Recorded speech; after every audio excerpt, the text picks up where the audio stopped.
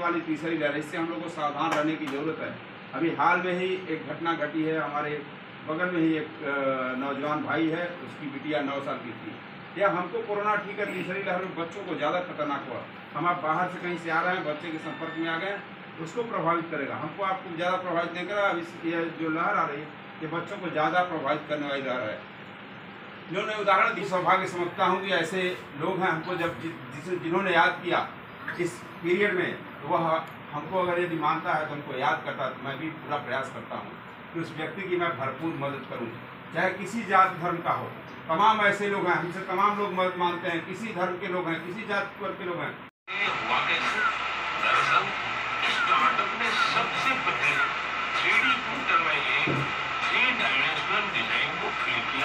और फिर एक विशेष प्रकार के कंक्रीट के माध्यम से लेयर बाय लेयर एक ग्रेडी स्ट्रक्चर आपको यह जानकर खुशी होगी। इस प्रकार के कई प्रयोग